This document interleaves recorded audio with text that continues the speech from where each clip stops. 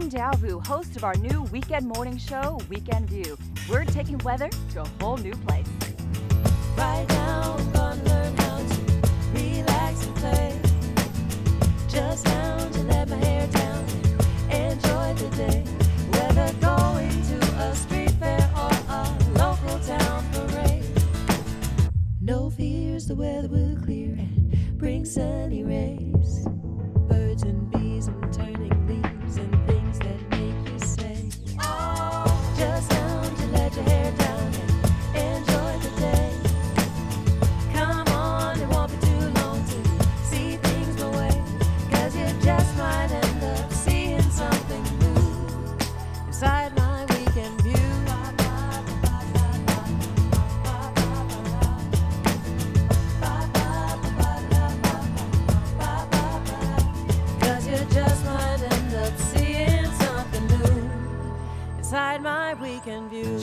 For Weekend View on the Weather Channel. The weekend is finally here.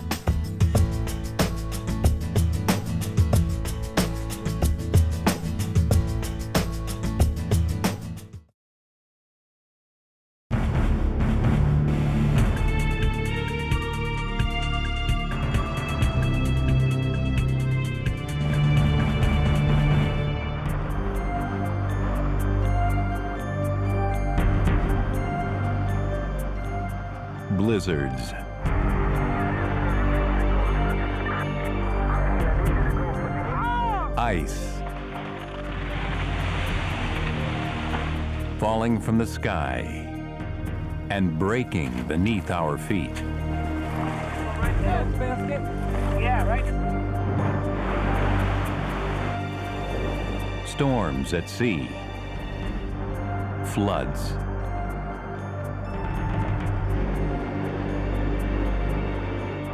and bitter cold that cuts to the bone. These are the extremes of winter weather, often striking with fury. We've made great headway in our ability to forecast weather, but snowstorms and extreme winter weather is still one of those areas that is one of our greatest challenges, and it varies so much from year to year. It just really makes things fun or terrible, depending on your point of view.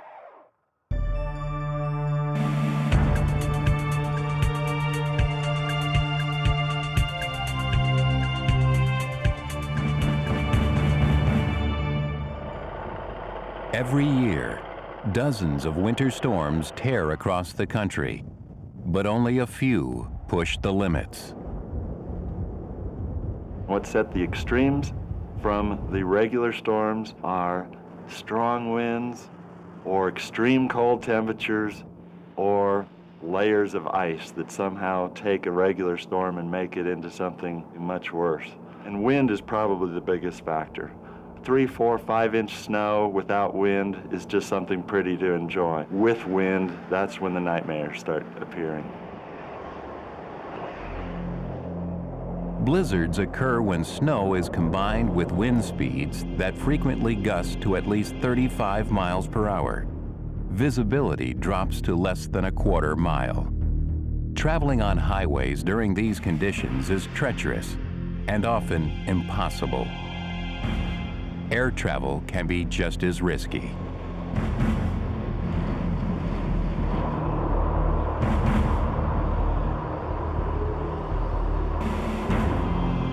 On January 13, 1982, Air Florida Flight 90 took off during a snowstorm from National Airport in Washington, D.C.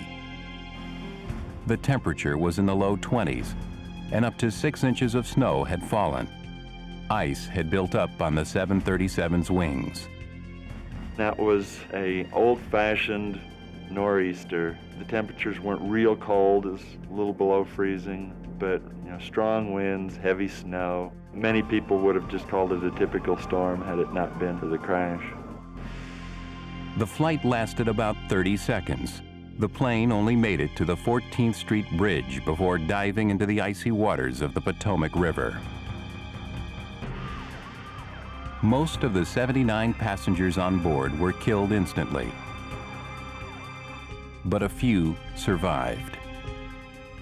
After I got outside of the aircraft, I was totally confused. Where did all this water come from? Initially, I couldn't associate taking off from National Airport with water. As I made my way outside of the aircraft, the only place that wasn't solid ice was what we had broken up.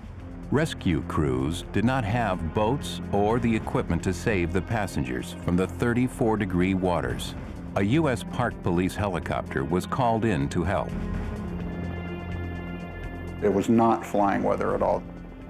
We were looking slant visibility through the chin bubble to try and see where we were going because looking straight out ahead was just a gray, a gray cloud of snow going past. Uh, but once we got to the 14th Street Bridge, it actually cleared out a little bit. We saw the shattered ice and what appeared to be a debris field out in between the two bridges. There's people everywhere. There was traffic stopped everywhere. Amid the chaos, Don Usher and his crew rescued Bert Hamilton, whose right arm had broken during the impact. Bert jumped onto the aircraft before we were ready for him. Uh, Gene was inside trying to get set up, and while I was hovering, he actually swam out and reached up and grabbed a hold of the skid. And they started to lift up, and that was, and then I slipped, lost my grip, and fell off. They'd found a piece of rope in the back of the helicopter, and he dropped it down to me, and I grabbed it, and I started wrapping it around my neck. And he's up there screaming, turn it loose, turn it loose. I'm screaming, no, pull, pull. And fortunately, he got it away from me, and then they were able to get a loop in it and got it up under my arm.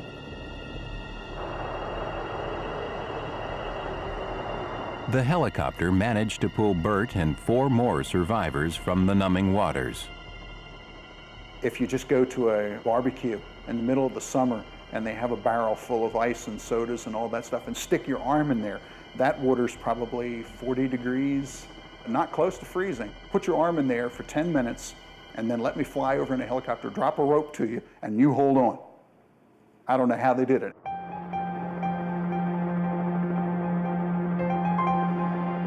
One woman was unable to hang on to the safety line and fell back into the water 20 feet from shore.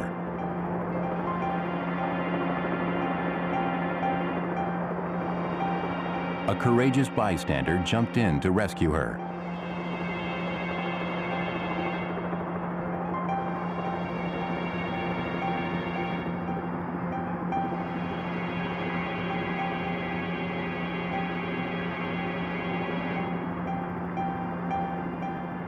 Back on shore, Bert's body temperature had dropped to 82 degrees. A few more minutes in the icy Potomac would have likely sent him into cardiac arrest. I didn't feel the cold or sense the cold until after I, they'd actually got me out of the water. And when they got me on the stretcher, then you start shivering. You shiver so hard. If they didn't have me strapped down, I would have come right off the stretcher. I mean, I believe very strongly God spared my life.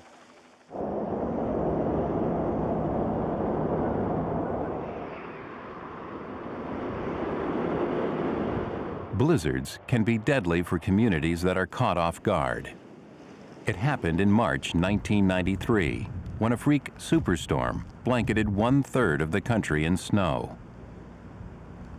In 1993, there was a blizzard that went up the East Coast, uh, started in the Gulf of Mexico and proceeded up the East Coast, uh, dropping tremendous amount of snow, resulting in hundreds of deaths in the United States and more than $6 billion in damages. The main criteria for the superstorm was that rarely had any other storm ever produced that much snow over as wide an area. 18 inches of snow fell in New York City, while Boston was quickly buried under a foot. But one of the most unprepared areas was western North Carolina. Some parts received up to five feet of snow in just 48 hours. News 13 Special Weather Bulletin. This will be one to remember and probably go down in the record books. Let me inform you on the watches, warnings, and advisories. Right now, a blizzard warning is in effect for the mountains of western North Carolina. This area had not seen anything like that for 50 years. Uh, people were not expecting 50, 60 mile per hour winds. They weren't expecting wind chill values at or below zero. They weren't expecting two, three, four feet of snow. They weren't expecting snow drifts, four, five, six feet. The snow started falling on a Friday evening and continued strong through the next morning. We have an unofficial measurement here we're going to do for you right here on Charlotte Street. We're going to stick this ruler in and see what we've got. Definitely unofficial, just about 11 inches here, and it is still falling. Our weather wire was printing up hourly reports and special weather statements, and I was looking at this and seeing how the temperature was falling and how wind speeds were increasing 30, 40, 50 miles per hour, wind chill values at or below zero, heavy snow being reported, thunder snow being reported. It was just absolutely amazing to dream that a few feet away from me outside that building, uh, the worst winter storm in 50 years was wreaking havoc.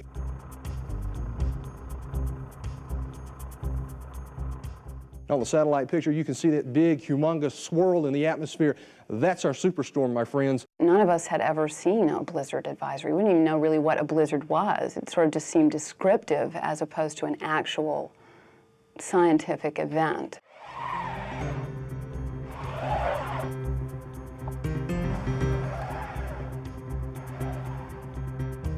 There was someone in a minivan joyriding. So I swerved to miss them and bury my vehicle in a five foot snowdrift. Well, luckily I was only a quarter mile away from the house. So I, I walked to the house, get the shovel. My wife's looking at me. I'm standing up to my waist in snow. She says, How are you going to get in the front door? Many people were stuck in their homes without power. Their only connection to the outside world was through the radio. We figured by that first Saturday we had about half of our 51,000 customers out. We worked all day Saturday, all day Sunday, and Monday afternoon we figured we still had about half of our customers out. It was nothing we'd ever seen before, without precedent. We've got snow on the roads, we've got power lines on the roads, and we've got the trees on the roads. Transportation is basically becoming impossible.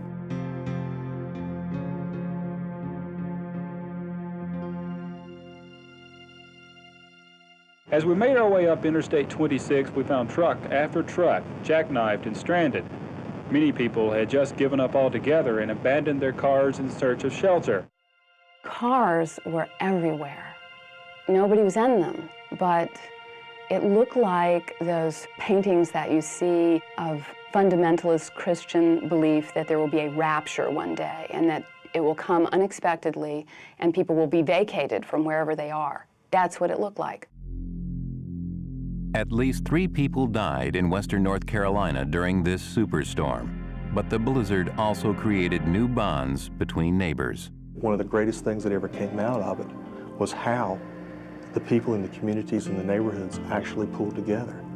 I spoke with my neighbors probably more in a three-day period than I had ever spoken to them in the four or five years that I had lived in the neighborhood. Coming up next on Blizzard, storms of ice. Oh my God. It was really scary. You know, it was almost like the end of the world. There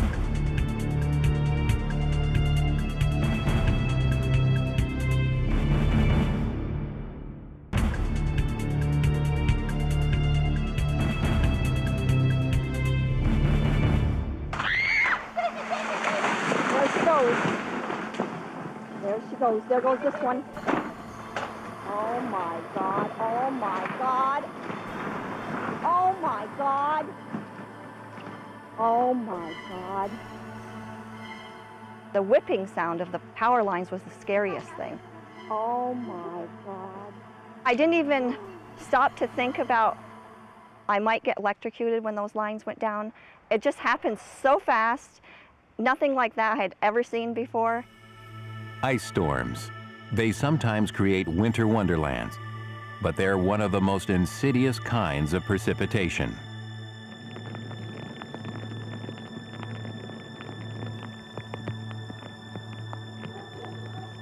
An ice storm is any storm that produces rain rather than snow that freezes on contact on the ground surface because temperatures right at the surface are below freezing. As the rain freezes, it encases everything on the ground with layer upon layer of ice. The storm may only last a few hours, but by then, an entire community may be shut down. One of the biggest dangers is for road surfaces. You can even just have a light drizzle, and it could be enough to create an instant uh, calamity. Each year, an estimated six to 7,000 people die in car crashes on slick, icy roads. Not only do you have people slipping, sliding, spinning in circles and crashing into each other, but you have infrastructure like above ground power lines just being torn apart, not to mention trees. It's one of nature's natural pruning devices, but it's pretty ugly.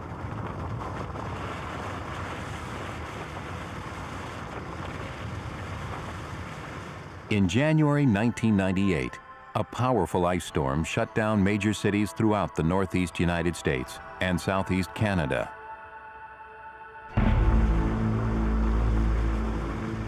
In Plattsburgh, New York, 24 miles south of the Canadian border, meteorologist Tom Messner was covering the storm for WPTZ TV.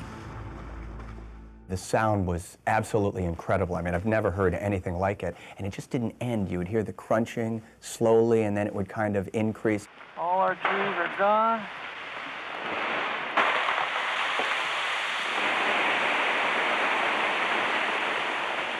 This is what has been happening since about 3 o'clock this morning. Downed trees and power lines covered the roadways. I was driving into News Channel 5 and I came up on a car that was stopped and I couldn't really see why, so I got out of the car. That person was out too, and there was a line across the street. And it was interesting because you had to kind of decide, what am I going to do? Do you drive over it? Is it live? You know, so it was a little disconcerting, but we ended up driving over it. Obviously, everything was fine. And that's the kind of thing that people were dealing with day in and day out. About a half hour north of Plattsburgh, dairy farmer Marlene Ashline was with her husband and two children when they were nearly trapped by frozen power lines. The power line started to sway, and we looked up, and probably within a few seconds, all the power lines were coming down in front of us. There she goes. There goes this one. Oh my God. Oh my God. Oh my God. Everything was encased with ice. It was really scary. It was almost like another world. You know, it was almost like the end of the world.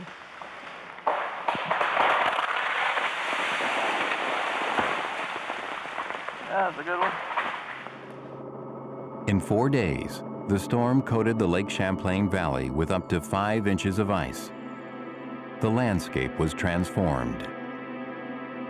I can remember looking and seeing the beauty of the ice and then knowing I would need to draw on that over the next few weeks because it was not going to be all beautiful. Power outages were widespread, but crews couldn't get through on the blocked roads to make repairs. Many homes had no heat. My home was down to 34 degrees, and they were forecasting below zero weather in a few days.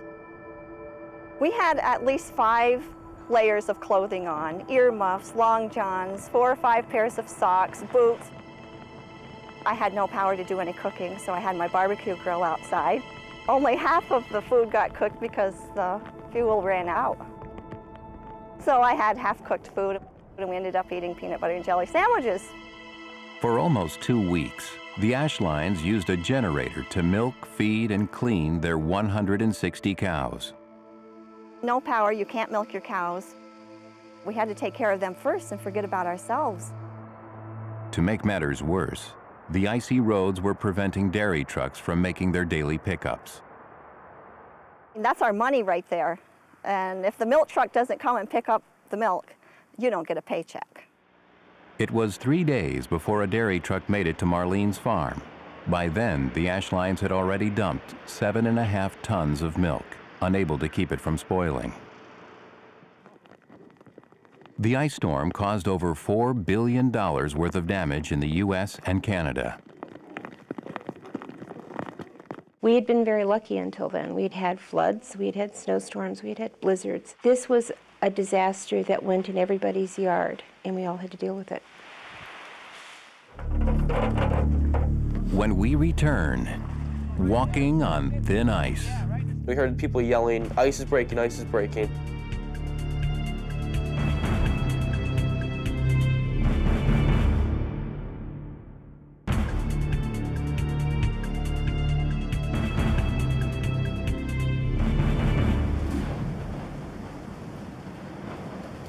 The allure of a frozen lake or river.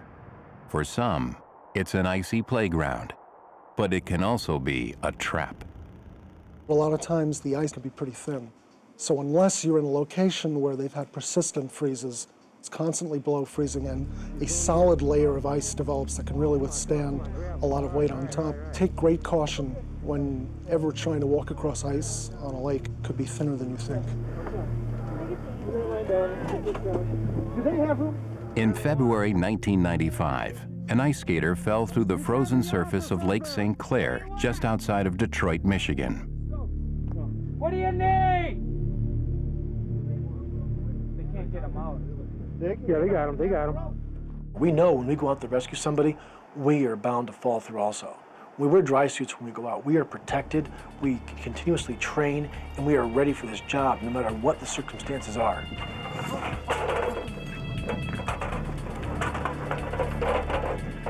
Dry suits did protect these Coast Guardsmen when they also fell through the ice during the rescue.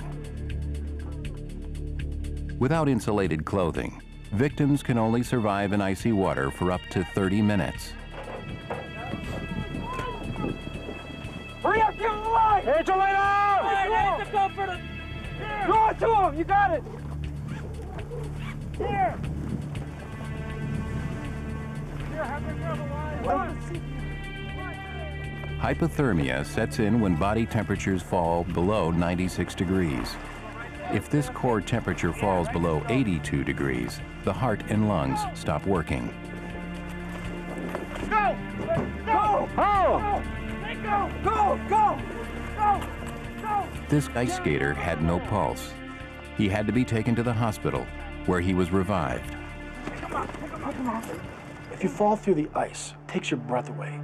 And the best way to explain this is to take your hand and just put your hand into ice cold water and see how long you can keep it there.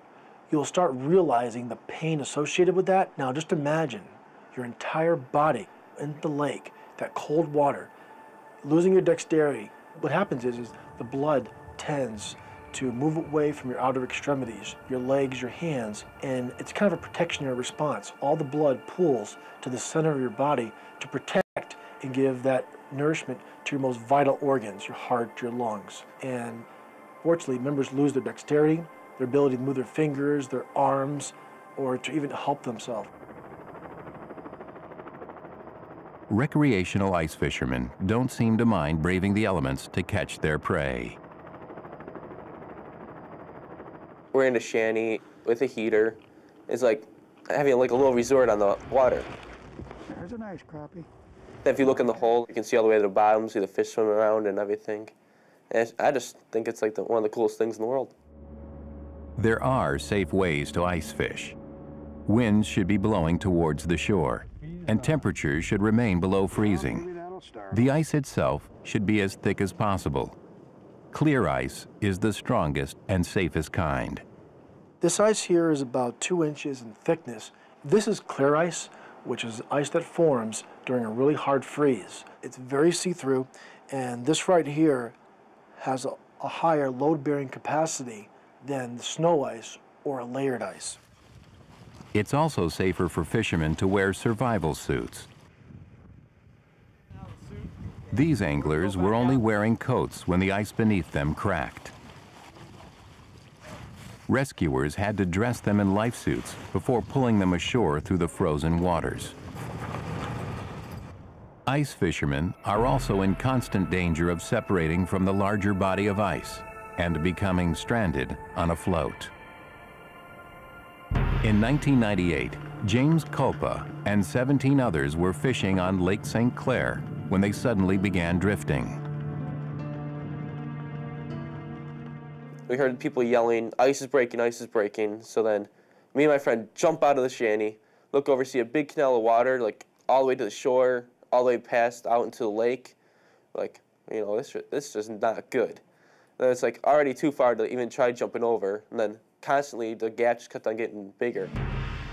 The group had settled on the edge of the ice attached to shore, which was too close to the open water. Winds began to blow. The ice they were on sheared off along a wet crack. We were on our own little island. We just kept on sinking underwater. We had to keep on backing up, getting on drier ice. We were walking through like knee-deep of water. By the time we got on scene, there was already a separation of a quarter of a mile because the winds were blowing about 40 knots. After a period of two hours, while these rescues were being conducted, that ice floe with those 18 people had proceeded over two miles out into the lake.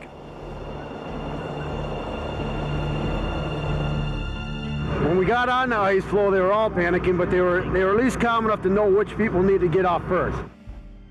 The call came in at 5 p.m., and then the rescue really wasn't over until around 10 p.m. The weather had changed so much after the initial call because we started getting 40 knot winds, blizzard snow conditions, and all the winds were coming from the west. In spite of the weather, no one was seriously injured. Some of the folks were very educated fishermen.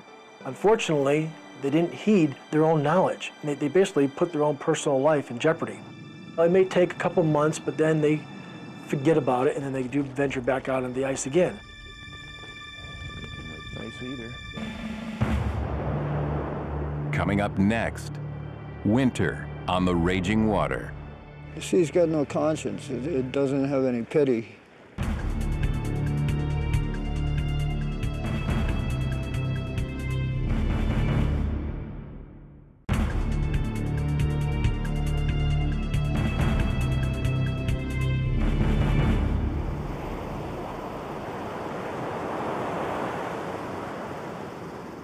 When the gamblers sank, we weren't far from shore.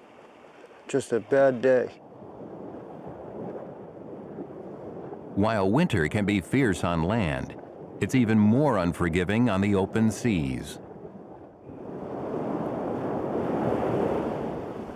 A storm over water, you don't see the snow because it doesn't accumulate. It just melts in contact with the water. So it has a different appearance, but you still have the raging winds. In fact, winds are usually stronger over water because there's nothing to slow it down.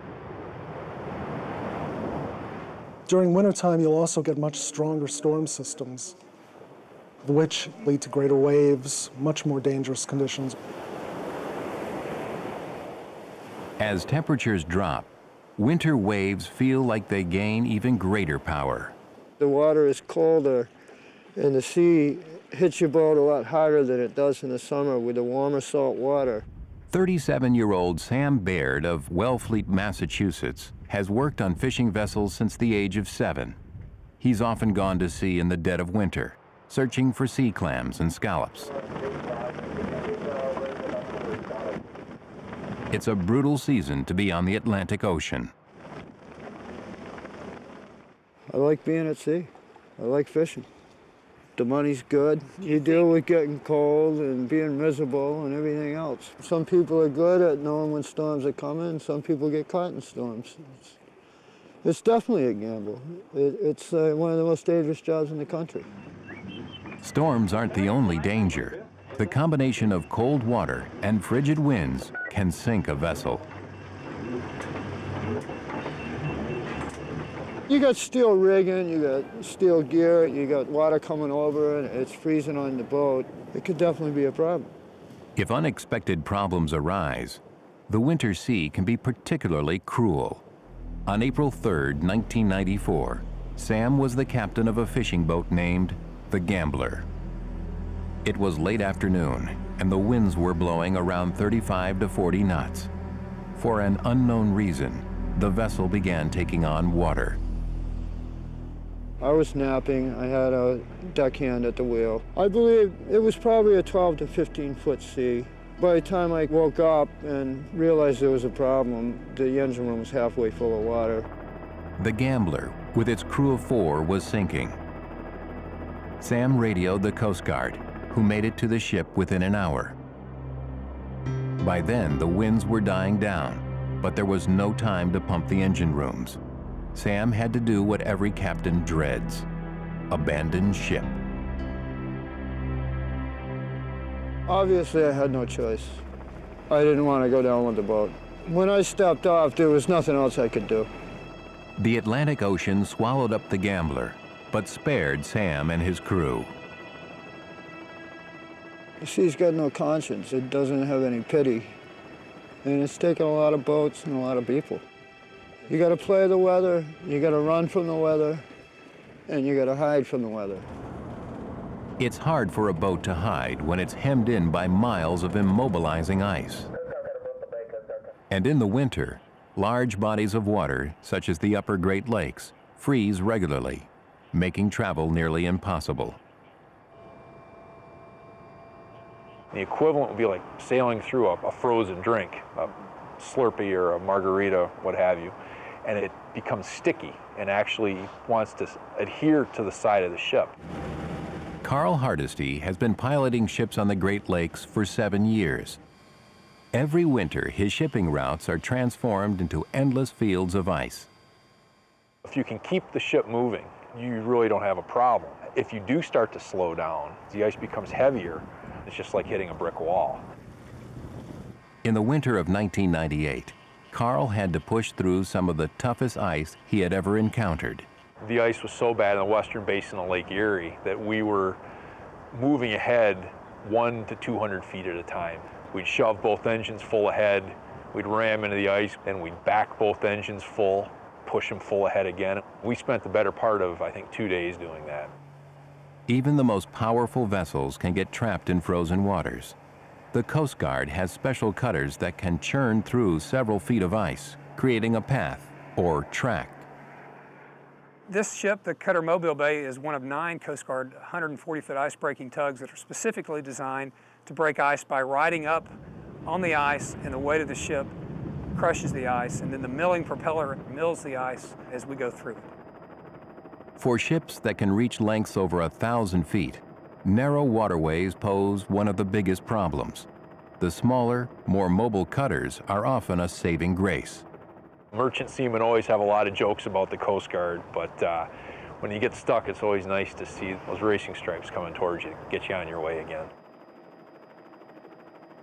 Next on Blizzard, when the snow melts, the floods begin. The water just, like a big blender, just took everything and spun it around and spewed it everywhere.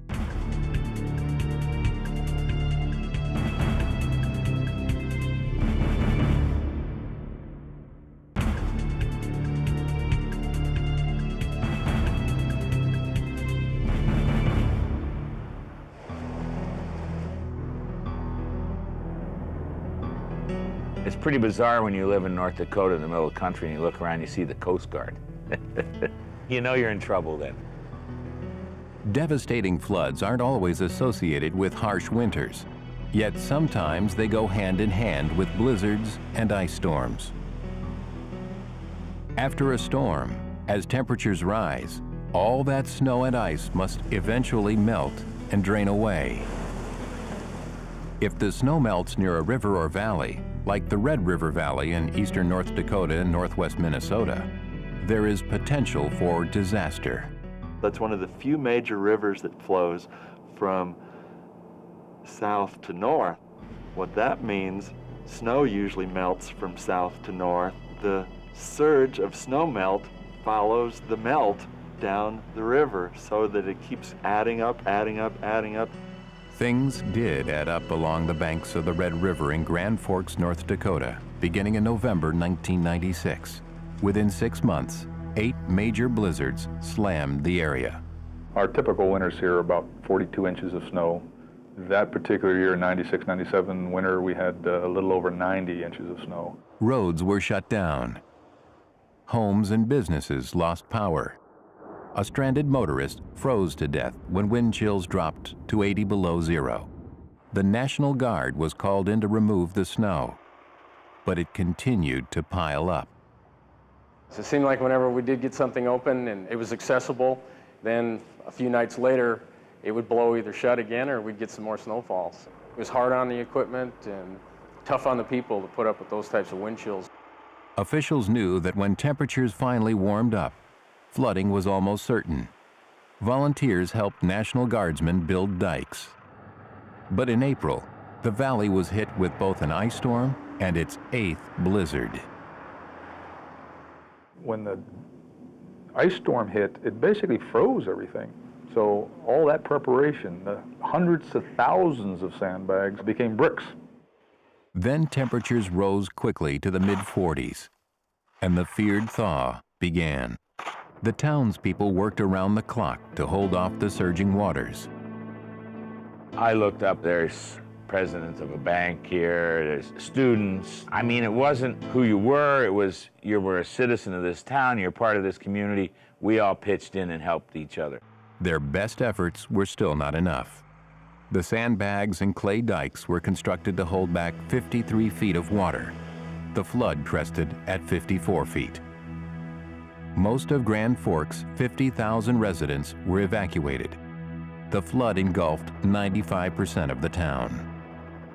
The water just, like a big blender, just took everything and spun it around and spewed it everywhere. I saw our restaurant in shambles and I just started crying. I've been working crisis work most of my career. This was one of the first times that I, in fact, was a victim of the very crisis I was responding to. It was a very hard decision for me to not only look at my house, but look at all my neighbors and say, we have to leave.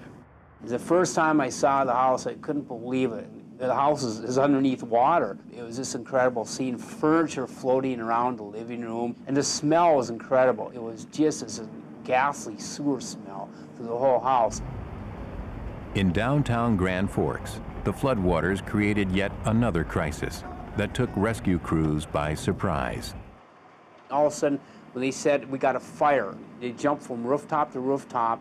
Major fire jumped about a block and a half, two blocks, where started second fire. The National Guard used fire trucks on flatbed barges to put out the flames. It would take over two weeks for the floodwaters to recede and for the residents of Grand Forks to begin sorting through the aftermath. We were extremely lucky. Nobody did lose their life. That was one of the things that is remarkable about the whole situation. When you look at the extent of the flooding and how fast the flood actually occurred once it did breach. Coming up, extreme cold. The danger. My body temperature was in the 80s. And the delight.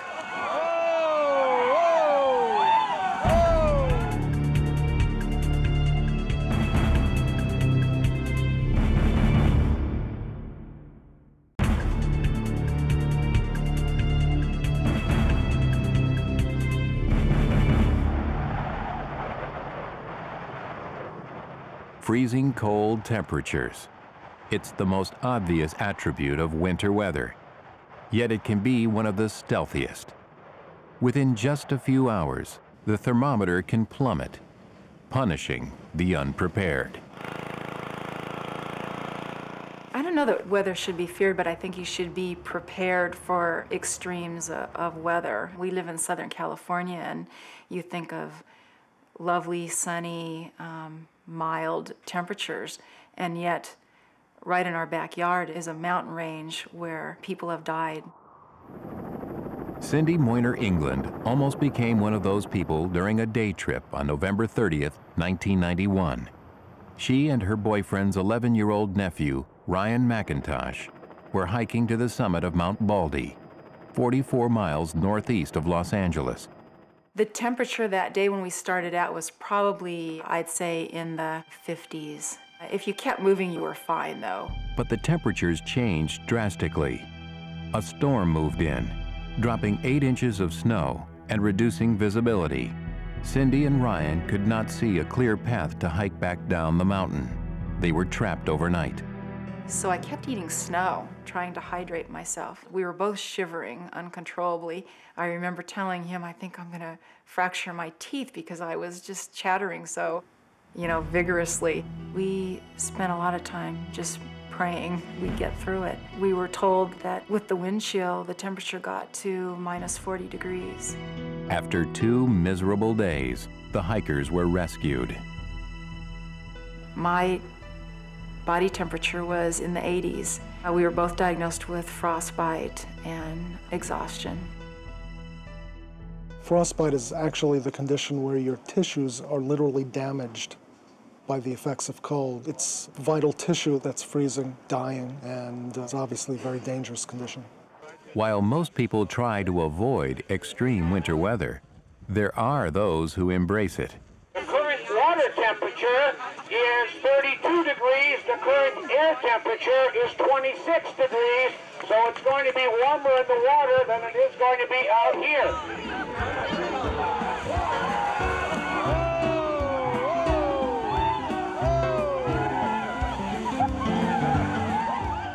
Polar Bear Club members around the world celebrate New Year's with an unusual ritual by diving into numbing waters. It's probably one of the more sane ways to ring in the new year compared to the way some people do it.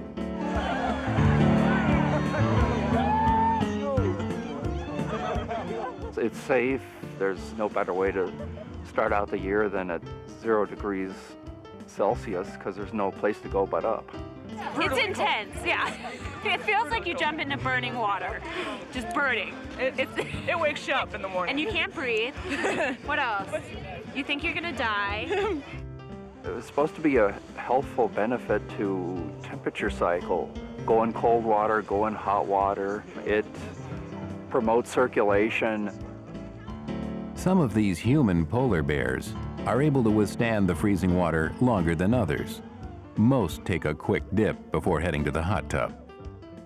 It's a bitey feeling all over. It doesn't last too long. One does have a desire to, to leave rather quickly, but you can fight that. Diving into the cold is not everyone's idea of fun, but it is a way to make the most out of extreme winter conditions. After all, whether it's snowing, blowing, or just plain freezing, Old Man Winter always has a few tricks up his sleeve.